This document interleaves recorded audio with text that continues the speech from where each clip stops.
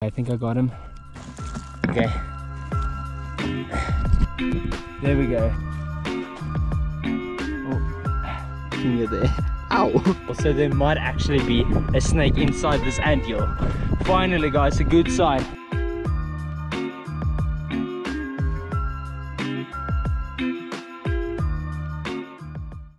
Alright guys, I got my gaiters on, I got my snake stick, and I got a hammer as well. I'm going to show you what I'm going to use it for later on, but let's see what we can find inside abandoned ant hills. Alright guys, so this baby is the ideal example of what we're looking for. So basically I'm just going to use the hammer to slowly and carefully break open this abandoned ant hill. So let's see if we can find any reptiles hiding inside it. So you will see I slowly carve around this ant hill so that so that I can basically lift it like a rock. And that will work best you know just to put the ant hill right back and do it as careful as possible so that we don't hurt any of the animals inside.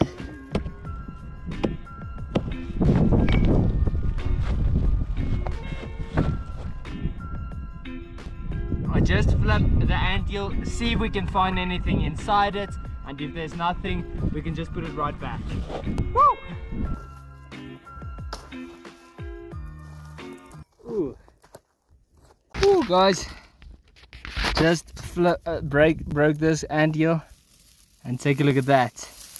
Our first find. Guys, our second find in the same anthill where I'm gonna catch it. It's our first little reptile. One, two, three, let's go. Now I don't want this guy to lose its tail. We got ourselves a little gecko. How cute. There we go. I'll just put him right back.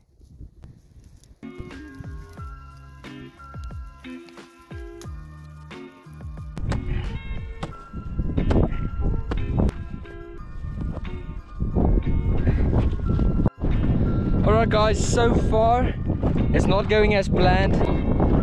I can't manage to find any reptiles inside the ant hills. So right now moving to that side of the hills. Hopefully uh, there is more activity there. Most of the ant hills are pretty loose. They break too easily. And I don't want to break the entire ant hill. I just want to, you know, circle around it with the hammer and then lift it and then put it right back. Guys, I definitely do recommend wearing your gaiters when coming out to the field and searching for reptiles, you know, herping.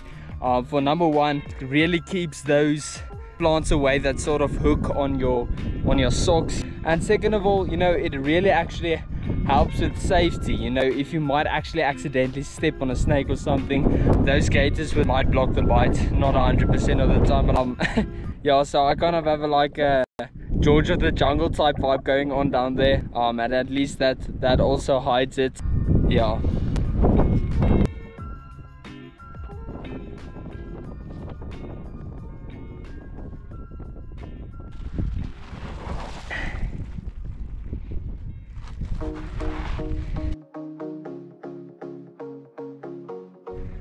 guys, there we have a snake shed. So this is the perfect example. So there might actually be a snake inside this anthill. Guys, how unlucky am I? Only a snake shed, no snake in here.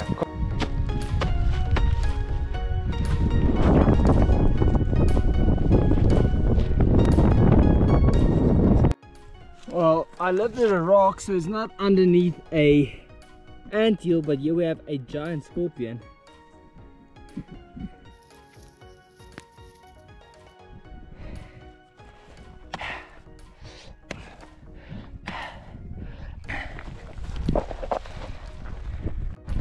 Heading to my bicycle as we speak. No it's a tough day guys. Didn't find much. You will probably see me tomorrow at the same spot. See you then guys. Second day i am back guys. I think i'm gonna lift more rocks today. I still brought the hammer so i'm still going to break open abandoned ant hills here and there. But um hopefully we'll find some reptiles today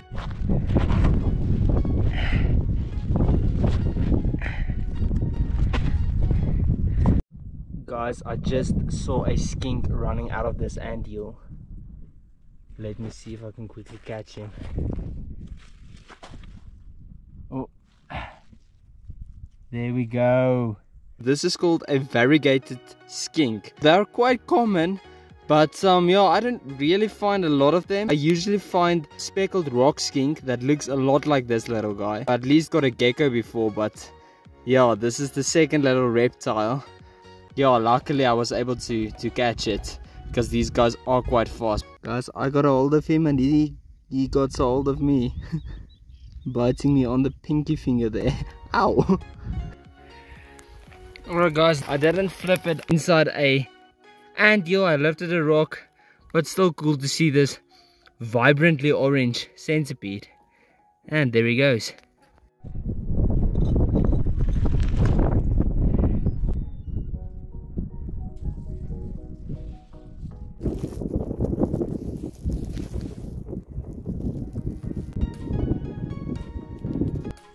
Finally, I actually got something good and it ran right under this small rock.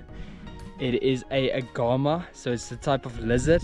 Very cool lizard. I love these guys. Love catching these guys. They're extremely fast. So I am going to try and set up this camera and um, hopefully we can we can get this guy. We can catch this guy, but let's see.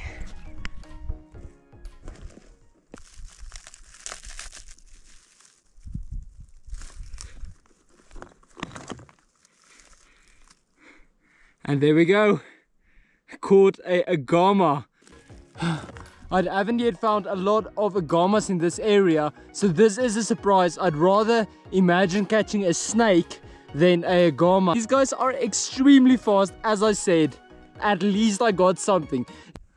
Woo! There's my camera still. Look at this. Whoa. Almost dashed away there. Take a look at this agama. So it is very pale in color and you can see that this is a fast lizard just by looking at its build. Take a look at that slim tail and that strong legs. Uh, you can see that this agama is made to run fast. What a cute little find. so I just wanted to get a shot in the sun with this agama.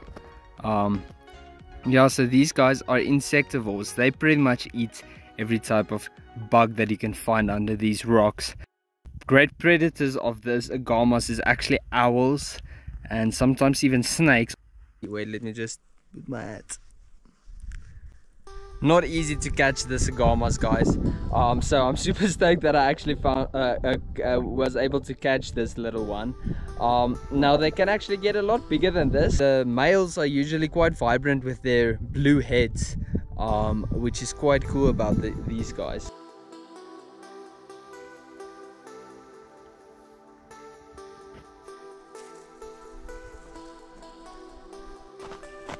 Okay guys, so let me just get another clip of our light to break these anthills open. So I'm just circling it, you know, from yeah, from the sides so that I can basically just lift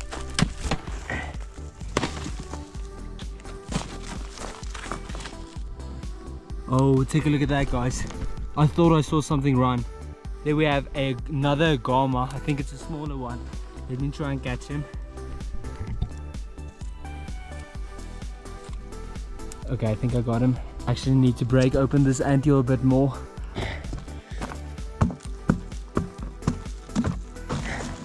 Okay. That will work.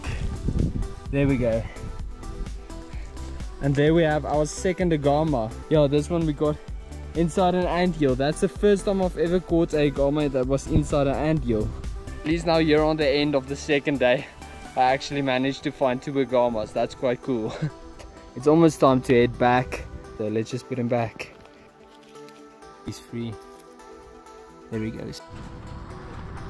Alright guys, so I I'm on my way back. Um, I don't feel like I have enough stuff to actually make a video. I only found two agamas and a variegated skink and a small gecko and you know a few bugs like a centipede and a scorpion or so.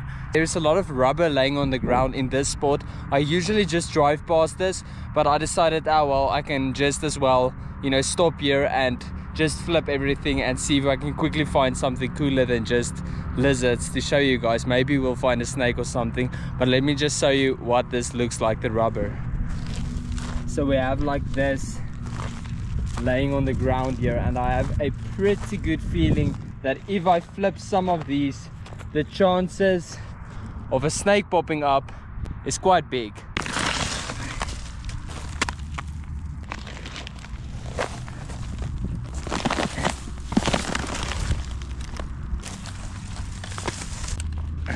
Oh, no ways. Take a look at this. Take a look at this.